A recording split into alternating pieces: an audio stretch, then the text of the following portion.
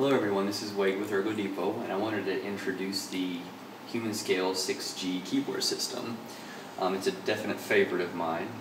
Um, it's very easy to adjust. You can move it down simply by pulling up here and pushing down there.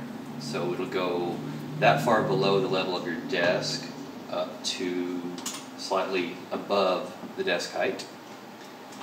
Um, there's this really cool dial-a-tilt feature here um, you can go from 0 to negative 15 degrees. And what this does is it takes pressure off of your wrists if you're a lazy typist like me and you tend to rest on the uh, wrist rest here. So the negative tilt definitely helps. The other thing I really love about this is the clip mouse system because it is so versatile.